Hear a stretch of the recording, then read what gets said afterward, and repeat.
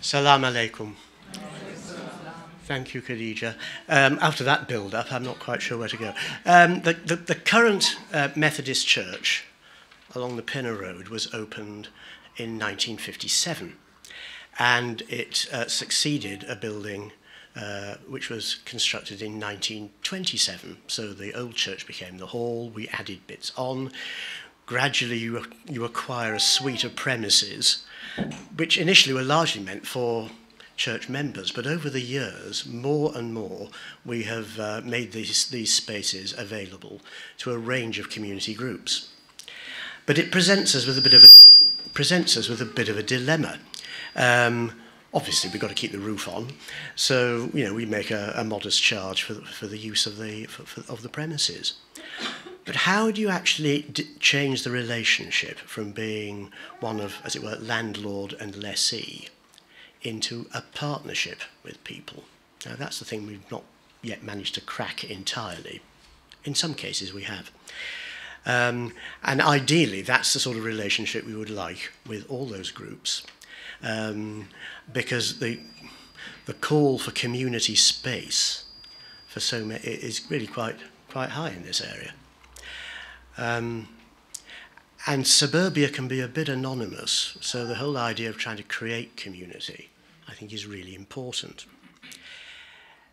So that's a little conundrum for us, which we're working away at.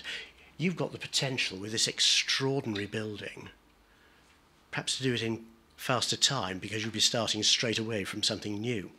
Um, it's going to be quite astonishing uh, when it's completed. whenever that is. Uh, yeah. uh, and we've seen the progress of it uh, over the last couple of years as you've gradually sort of, it's, it's, it's risen out of the basement, at least to where it is now. Um, but again, that, it will be the landmark building in this part of the borough, won't it? I mean, most people know North Harrow by the clock tower of Wheelstone Motors. It, it's not too brilliant, really, is it? Uh, but this, I think, will be architecturally uh, something very, very significant. But it's not just about the architecture, it's, what, it's about what the architecture embodies and what you're trying to make of it. Uh, yes, as a place for prayer and worship uh, and for uh, education, for your own community. Um, and I know from your plans that you do want it to be a focal point for the community. And here it is, within a stone's throw, the main crossroads.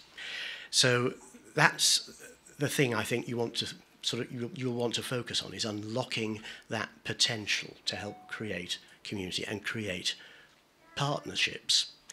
Um, it's been a great delight to me over the last few years that we've uh, we meet as uh, you've already mentioned usually every couple of months Methodists Anglicans and Mafilali um, And I think the levels of trust have built up in such a way that we now spend some of our time uh, reflecting on our sacred texts.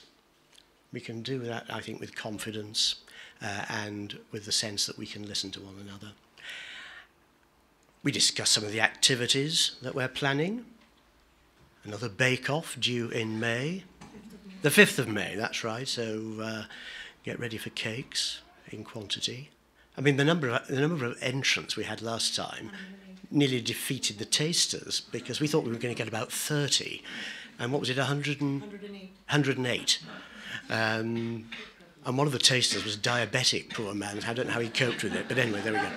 Um, but he, he survived. He survived. Um, and the, the sort of the, the, the, a, a later development has been that we now actually can find time to pray together before we leave. Uh, and I think that is a very special time for all of us. Uh, and we can find from our different perspectives a way to come into the presence of God. Thank you.